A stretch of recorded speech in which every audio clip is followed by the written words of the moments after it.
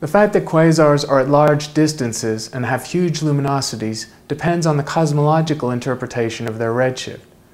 There are some crucial distinctions between galaxies and quasars as far as redshift goes. For galaxies, they follow a Hubble relation, where distance indicators such as Cepheids within the galaxies or supernovae in more distant galaxies reliably indicate distance and are correlated well with redshift. Quasars have no property that correlates well with redshift. The luminosity varies by a factor of thousands between different objects, and the light from the quasar is variable on timescales of weeks, months, and years. So the redshift itself is used as a distance indicator.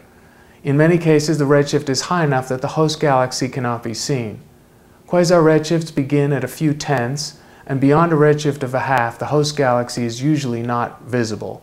The highest quasar redshifts are 6 or 7, an age when the universe was only 10% of its current age and 7 times smaller than it is now.